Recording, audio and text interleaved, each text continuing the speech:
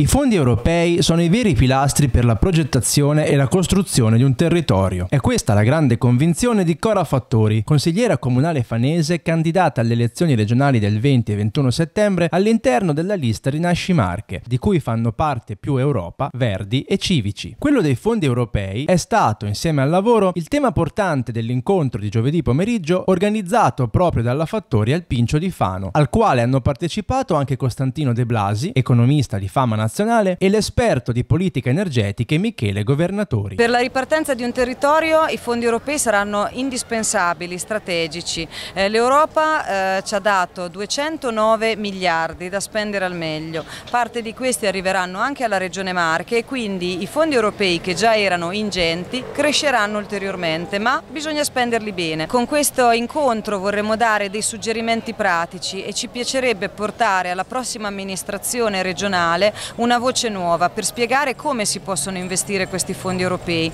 I fondi europei devono servire per creare un nuovo territorio, quindi bisogna analizzare bene quello che sono le capacità e le peculiarità e i punti di forza di un territorio, dove vogliamo andare. Vogliamo puntare sulla grande impresa? Bene, dobbiamo riuscire a far rinascere la grande impresa. Vogliamo puntare sull'artigianato? Bene, deve essere un artigianato di eccellenza e dobbiamo puntare anche lì.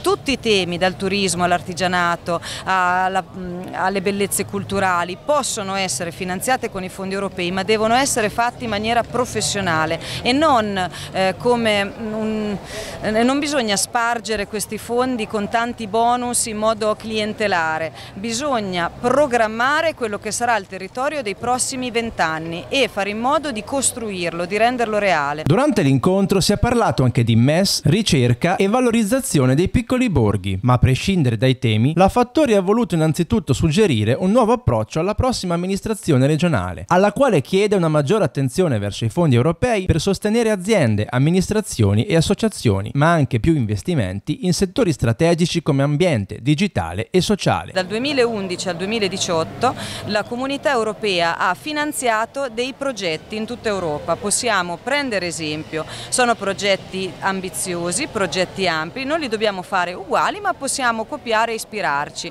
sono progetti nati dalla collaborazione collaborazione tra università e imprese. Noi nelle Marche abbiamo quattro università e due scuole d'arte, eh, accademie d'arte e quindi mh, mm, abbiamo tutto il potenziale per poter far crescere una nuova impresa sui temi ambiente, digitale e sociale grazie ai fondi europei.